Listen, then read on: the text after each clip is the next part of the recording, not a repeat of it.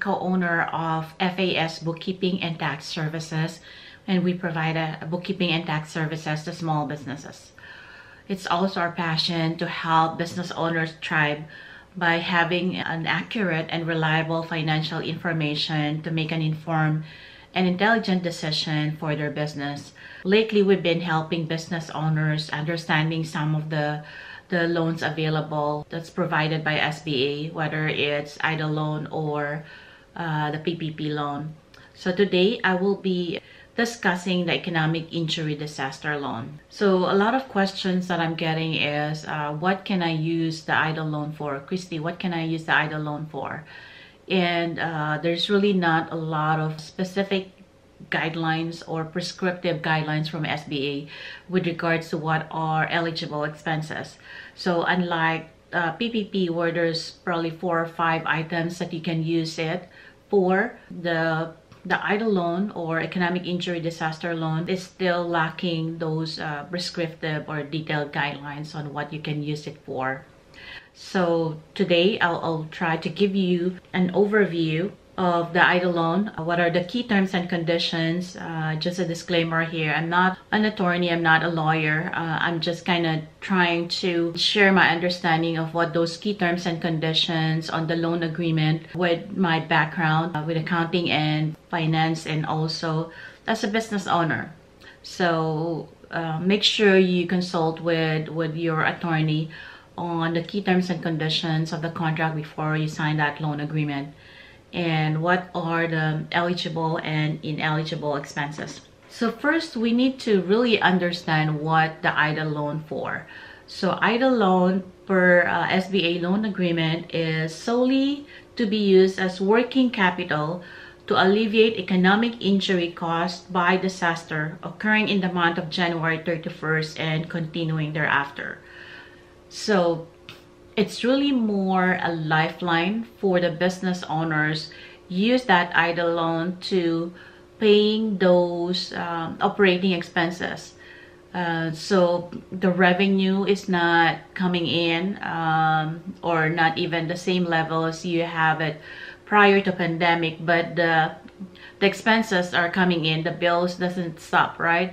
So you still need to pay for those and this EIDL loan is really to help you uh, be able to pay for those um, expenses until you get back up on your feet and um, start generating um, revenue. So what are those eligible expenses? Those are your working capital operating expenses. So work working capital are normally the materials and supplies that you need to purchase and use that to generate revenue or if you're a service company professional company then your working capital will be more on paying those employees so that could be materials and supplies payroll fixed debts that you need to pay every month like rent commercial mortgage payments uh, utilities also insurance and, and some other operating expenses that could have been paid had the disaster not occurred. So let's look at the loan agreement itself. So when uh, the the loan amount actually differs, uh, it can range from really low amount up to 150,000. Recently, the the maximum amount is 150,000. So the interest rate is 3.75, really, um, you know, very low interest rate and it's payable over 30 years there's no prepayment uh, penalties so if you decide or if you uh, found out like after six months you don't really need it or this is not for you you can pay the full amount. But of course there's interest accrued over the time that you receive from the time that you receive the loan proceeds up to the time that you pay it. So just keep in mind that there's interest accrued from the time that you receive um, the payment. Since the loan is not um, payable, you don't have to pay it until after one year. It's very clear um, that the interest will accrue from the time that you receive the loan up to the first um, month that you will be paying that monthly amortization. And so just by doing some sort of calculation, it looks like they're adding the interest that accrued for that one year and putting that as part of the total loan amount and um, amortizing that over 30, uh, 29 years because that's the remaining life of your loan. So as I said, the, the EIDL loan is uh, payable over 30 years at 3.75% interest rate. That is a very good uh, rate. That's a very low interest rate. Now, it's also stated that on the contract that um, you don't have to pay until after uh, 12 months, uh, after one year. But the interest accrues from the time that you receive the loan proceeds.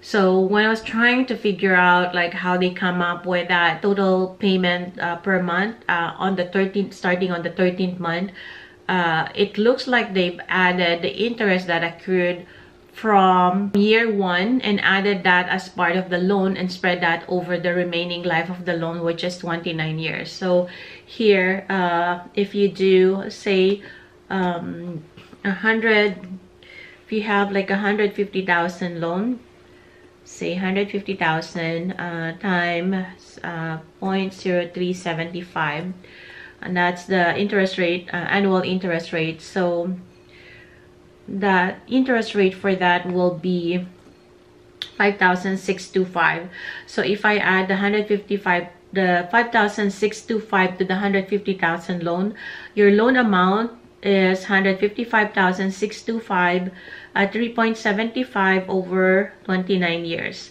So this is your that's how the monthly uh, payment schedule um, is calculated. So as you can see here the total interest that you will pay for um, the duration of the loan is 99,000 so that's about two-thirds of your uh, principal loan amount. So that's a lot of interest expense to pay. Um, so as you will see later on there's a lot of restrictions on the EIDL loans so it's probably not a bad idea to really plan. And once your business is um, up and running uh, going back to your new normal and you have some money that you can actually use to pay uh, some of this loan slowly and make it instead of 29 years over say 10 years or 15 or 20 years then you can save a lot of money on the interest expense and also save yourself from all those um, restrictions. So if you pay it off then you're no longer your business is no longer subject to those restrictions. So let's say if you want to pay it off over uh, 15 years so of course the interest expense will be reduced by uh, almost half and then this is what um, it's going to look like in terms of what you have to pay monthly uh, starting on the 13th month. Uh, that's about 1100 now if you think uh, you'll be able to pay it in 10 years then that is even better. Uh, but you're looking at about 1500 uh, but you don't have to really um, be very um, kind of what do you call this uh, very rule specific and okay I will pay it in 10 years or 15 years. You can uh, you can be flexible in prepaying the the debt. If you have uh, excess money that you have available uh, because your business is doing well then you can prepay uh, whatever amount you can uh, you think you can prepay and so again that's just accelerating the the pay, repayment of this loan. And since there's no prepayment penalty then that's really the best way to go. So let's go back to the the loan agreement. So again it's 3.75 payable over 30 years. Uh, you will be given like an amount that you will pay uh, on the the 13th month right? Um, so some other provisions here if uh, if your if your loanable amount is over 25,000 then you will be subject to collateral. And the collateral the type of collateral are listed here on the loan agreement as well. But it's basically your business assets. They're not necessarily asking for a list of business assets that you will be using as a collateral but you're just stating that um, um, if you have this business assets then this will be used as a collateral for that loan. Now anything uh, 25,000 or lower of loan amount will not be subject to collateral.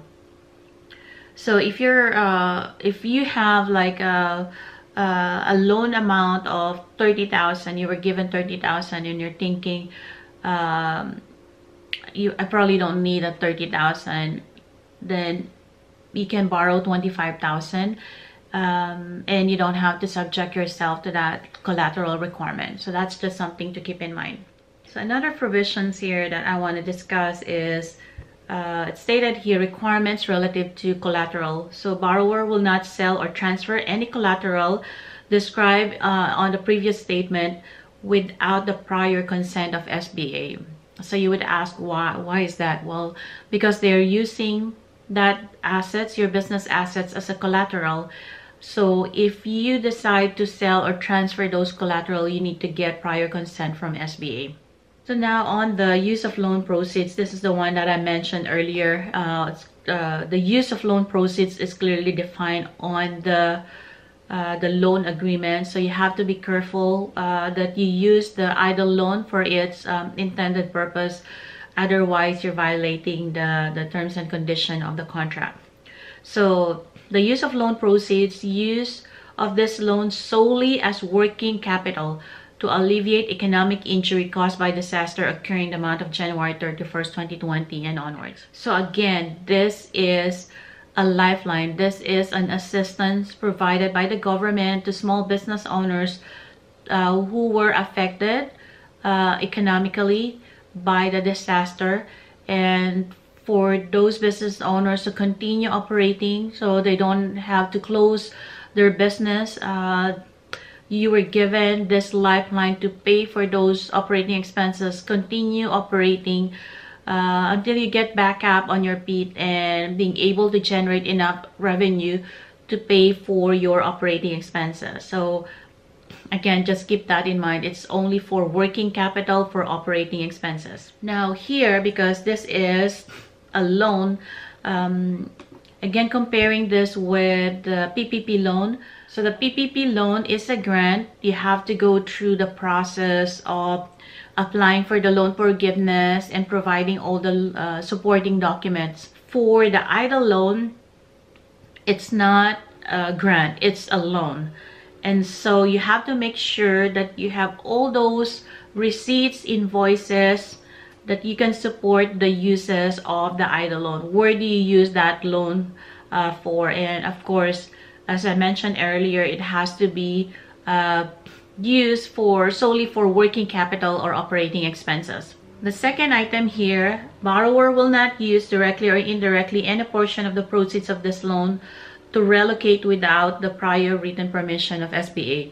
So you cannot use the proceeds, uh, the EIDL loan for your relocation um, expenses. Um, you can relocate to another location, but you also have to inform uh, SBA that you're relocating to um, another, um, say another state or another location. There's also a provision here that borrower will, to the extent feasible, purchase only American-made equipment and products with the proceeds of this loan. So again, that's another requirement. That's another provision there. Um, if um, uh, to the extent feasible, purchase only American-made equipment and products with the proceeds of this loan. Now, um, this is another provision. I'm not going to go through all the provisions of uh, this contract. I'm just going to go over those that kind of stood out to me that a business owner should really be aware of and should understand. Just note as well that the EIDL loan is not new uh, it, it's been around to um, assist during hurricane or flood or some other kind of disaster. So there may be some language in this uh, loan agreement that doesn't make sense for the disaster that we're having right now, the, the COVID-19. So just keep that in mind when you're uh, reviewing and looking at the loan agreement. So the other provision here is compensation from other sources. So eligibility for this disaster loan is limited to disaster losses that are not compensated by other sources. So what that means is if you've received other type of compensation, say um, an insurance claim, then you have to notify SBA. Now, the question I get a lot too is, can I have the PPP loan and EIDL loan? You can for as long as um, you're not using the same same expense for claiming under the PPP loan and under the EIDL loan. So SBA is really very clear on that. No double dipping. So for example, the PPP, you've used that for your payroll for uh, say April to May over that eight week period and you're still not um, have recovered or not generating um, enough revenue to pay for your payroll, then you can use that, that EIDL loan proceeds for starting June, for example. So in that case, I don't think you have to notify SBA of that because there's really no no overlap of the of the compensation there. Now, the, the hazard insurance, it's, it's just really stating that if your loan is over 25,000 and you have business assets that you're using as a collateral, those physical assets like machineries and equipment, uh, you have to maintain a hazard insurance for that. Now, the next one here, again, is also very important.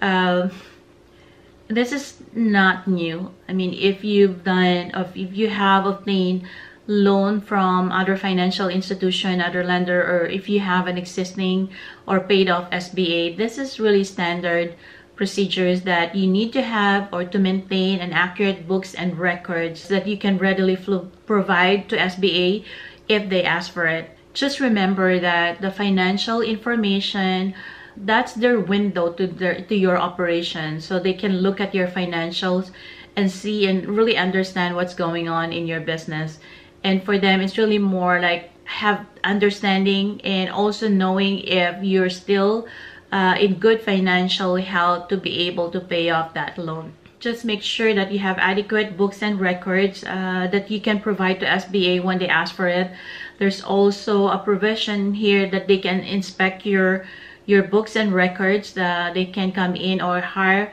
um, an auditor to uh, review your records. Think this is also standard that SBA would require uh, a copy of your financial uh, statements, uh, whether on a quarterly or an annual basis. So just keep that in mind. And again, this is something that you need to put in place if you have an EIDL loan, you have to make sure that you maintain, you have a good accounting system, you maintain an accurate and up-to-date books and records. So when they ask for it, you can easily provide that to them. Also keep in mind on the tracking of expenses and just making sure that you have adequate books and records to uh, demonstrate that you've used the EIDL loan funds for its intended purpose. Though it's not mandated or required as per the loan agreement, it doesn't hurt to have a separate bank account uh, where you have the EIDL loan and all the expenses that you've used the EIDL loan for. It's, it's going to be uh, under that particular bank account. So it's a lot easier uh, increased transparency and it's easier for you to monitor and control all those expenses that you've used the EIDL loan for for. So uh, that's what i would recommend. Limits on the distribution of assets. This is another important uh, provision on the loan agreement that business owners should really be aware of. Uh, the borrower will not, without the prior consent of SBA, make any distribution of borrower's assets or give any preferential treatment make any advance directly or indirectly by way of loan, gift, bonus, or otherwise to any owner or partner of any of its employees.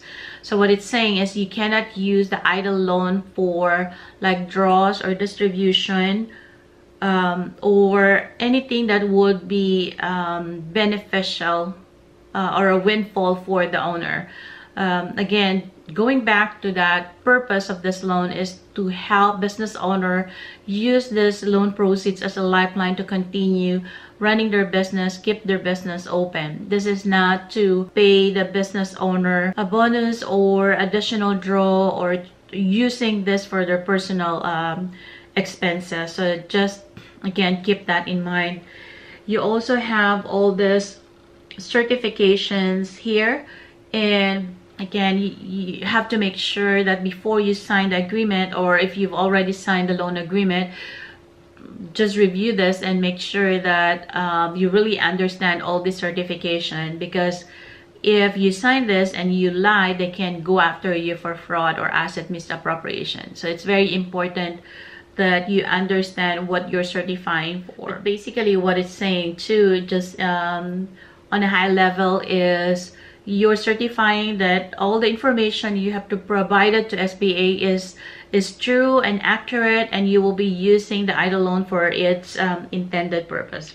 Now the last item here on the contract that I will discuss is if you, a business owner, wrongfully misapplies the proceeds of an SBA disaster loan, you can be liable um, to one and a half times the original principal amount of the loan. So if you borrowed a hundred thousand and misappropriated or misused the funds, meaning you used the funds um, not for elig uh, eligible expenses, then you can be liable for 150,000. So again, just just keep that in mind. So just continuing on with the discussion of the, the EIDL loan, again, just to summarize the eligible expenses are the operating expenses, the working capital.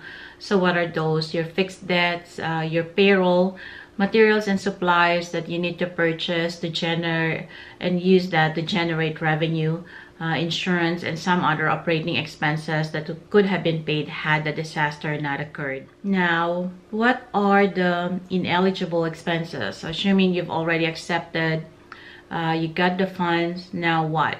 Uh, you don't want to get in trouble. Um, again, you're worried because there's not a lot of uh, detailed guidelines with regards to what are the the proper use uh, of the, the EIDL loan. So I have this uh, document from SBA and um, it describes all the ineligible uses of loan. So I mentioned earlier, if you remember, the limits on the distributions of asset and asset includes cash to the to the owner shareholder. So the, the owner shareholder cannot use these funds um, to pay themselves dividends and bonuses uh, disbursement to owners unless it's a performance of service. So if you're an S Corp, you're a shareholder of an S Corp, you should be paying yourself reasonable compensation and you should be getting W-2 at the end of the year. So those wages, salaries, those are um, for the performance of service to the business. So that is an allowed use of the EIDL loan.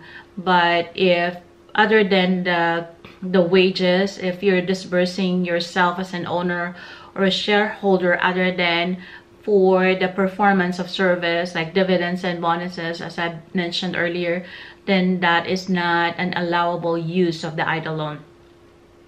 Repayment of a stockholder loan to the business. So there are shareholder or owner that have advanced money or loan the business uh, at some point in time now you if you have this money you cannot use the EIDL loan uh, to pay yourself for for that loan that you have given uh, the business um, expansion of facilities or acquisition of fixed assets so this is really important again uh, I always go back to what the definition of the EIDL loan for. It's for working capital.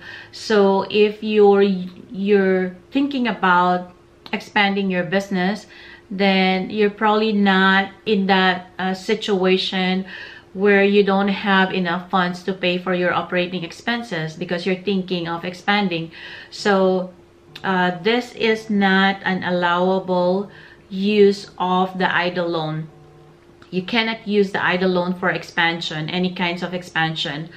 Also, you cannot use the EIDL loan for acquisition of fixed assets.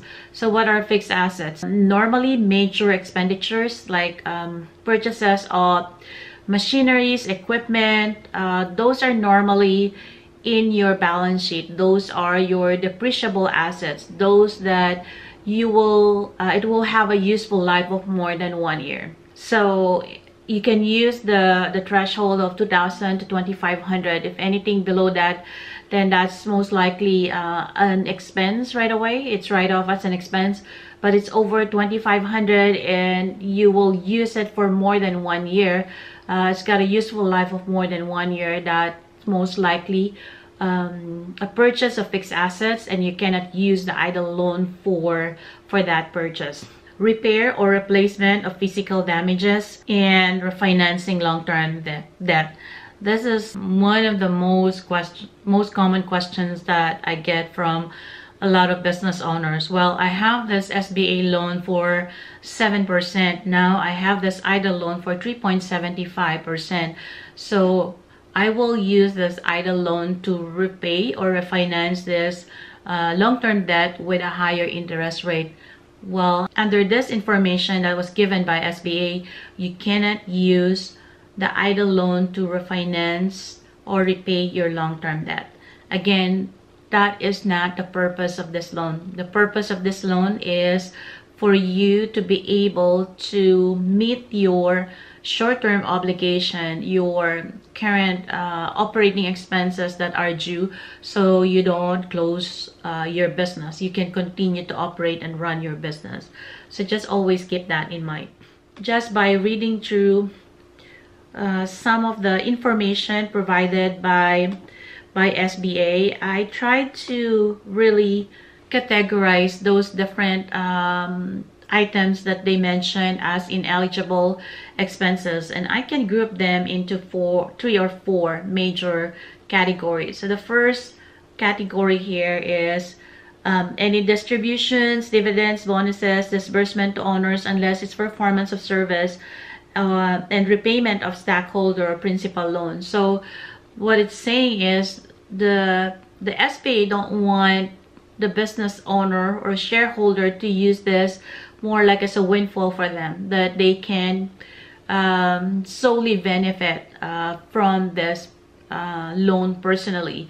So this is really to help the business continue to uh, operate by having this assistance to be able to pay for those expenses, operating expenses that they cannot pay because they are affected by the disaster, that they are not uh, generating enough revenue to pay for those expenses. So that's the main purpose. Now, again, you cannot pay yourself extra bonus. You cannot use this EIDL loans to pay yourself dividends or distribution. That's really not the purpose of this loan. The second group is around uh, refinancing or paying down debt, right? So refinancing long-term debt, paying down debt, or payment of any part of it, direct federal debt uh, except IRS obligation.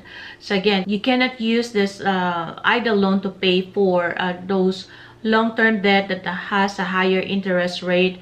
Now with the EIDL loan, it's got 3.75% and you benefit by reducing your interest expense uh, payment for the loan so you cannot use the EIDL loan for that. The third one here is for any expansion of facilities or acquisition of fixed assets or repair or replacement of physical damages. So that's uh, with regards to investing activities. You cannot use the EIDL loan for investing activities for acquisition of fixed assets or expanding your business that's not the intent of this loan and finally and mention on the on the contract as well uh, you cannot use this for your relocation expenses but you also have to inform SBA uh, if you move or you relocate. Well, I hope that you're able to get some information and have some clarifications on the the proper use and improper use of um, EIDL loan funds. Again if there's uh, there's not a lot of prescriptive guidelines yet from SBA hopefully that's coming soon.